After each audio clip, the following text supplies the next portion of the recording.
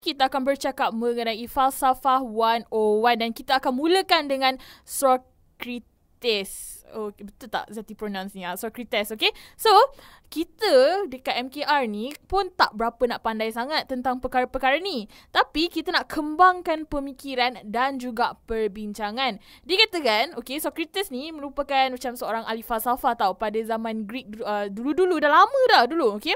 So, dikatakan pada usia muda, Socrates ni, Socrates ni, pernah menjadi askar, pernah menjadi macam ayah dia yang merupakan seorang penukul dan juga pemahat batu dan banyak lagi lah yang Socrates ni pernah jadi.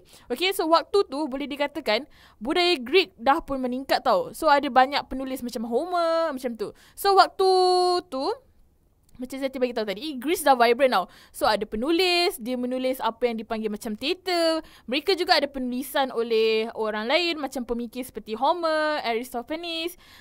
Dan pada masa itu muncullah juga Socrates. Dan bila Socrates ni tua, dia jadi seorang guru dekat Athens tau. Okay. Sekarang ni, kita tak boleh nak bezakan antara Socrates dengan Plato. Siapa Plato tu? Okay. So Plato tu merupakan anak murid kepada Socrates. Okay, kenapa tak boleh bezakan orang? Sebab cikgu dengan anak murid kan mestilah berbeza. Okay, sebab Socrates ni dia Saya bagi tahu tadi dia seorang guru kan. Dia seorang ahli falsafah. Tapi dia tak pernah tulis apa-apa. Dia tak menulis apa-apa lagi. Dia hanyalah seorang guru yang mengajar secara oral. Dia macam uh, mengajar secara oral dia macam berdiri, dia bercakap, ada anak murid kat depan, dia akan bercakap dengan anak murid, tak faham, okey dia akan cakap, cakap, cakap, cakap. So orang pun dengar je. Lain macam sekarang ni kan Kalau cikgu cakap Kita akan record Ataupun kita akan tulis Okay Tapi kalau dulu Socrates ni Dia just uh, Cikgu secara oral dia. Dia mengajar secara oral. Maksudnya dia akan bercakap Dan explain Berdiri Dan explain Explain explain. Tapi si Plato ni Teruja sangat dengan Socrates kan Sebab dia nampak macam menarik. So si Plato ni Menulis pemikiran Dan idea Socrates tu sendiri. Sebab tu lah sukar Untuk kita bezakan Antara Socrates Dan juga Plato. Sebab bila dia tulis Plato dia akan menulis uh, seakan Socrates yang menulis tau. So dekat sini dalam hal ni ada yang kata Plato tu menulis apa menulis balik apa yang Socrates tu cakap dan ada juga yang berkata Plato macam uh, apa yang Socrates tu cakap Plato akan macam uh, susun sikit dia akan ubah sikit-sikit macam tu okey. So pemikiran tu um, Plato pun dalam apa yang diutarakan oleh Socrates okey. So uh, Zati nak move on. okay, so sumbangan terbesar Socrates adalah dialectic method tau. Apa benda tu dialectic method? Okay, macam ni oh. Sebelum Socrates, orang akan berpegang kepada pendapat dan juga pemikiran berdasarkan prefer- preference, kegemaran. Okay, dia suka ni, dia suka ni, macam tu. Dan juga berpuak. Maksudnya, dia berpuak dengan orang yang pemikiran dia macam ni. Okay, macam uh, Zati pula ber, uh, berpuak dengan orang yang berpikiran macam ni. So, dia ni pula berpikiran macam ni, so kita akan berpuak dengan dia. Macam tu lah kan.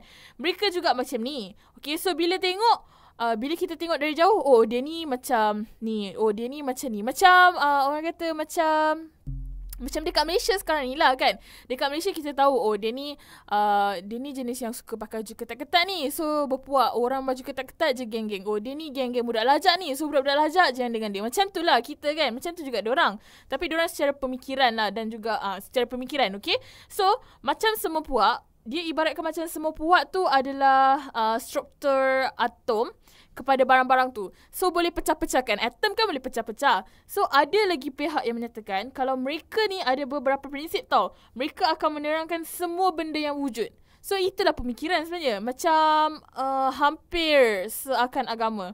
Okay? Orang ambil pemikiran intellectual Dari segi pemikiran agama. So dia macam terikut. Socrates pula Memperkenalkan dialectic method ni. Maksudnya Semua isu Ataupun semua perbincangan Dia akan menerusi satu perbualan Menanyakan soalan tentang benda tu. Kalau you buat benda ni apa yang you akan dapat? Sometimes dia akan kata dalam statement. Okay. So kalau you, uh, macam kebenaran tu ibaratkan macam kebenaran tu tak sepenting ataupun sama penting dengan kita kita mencari kebenaran. So kebenaran tu bukan untuk sesuatu bukan sesuatu untuk kita pilih je.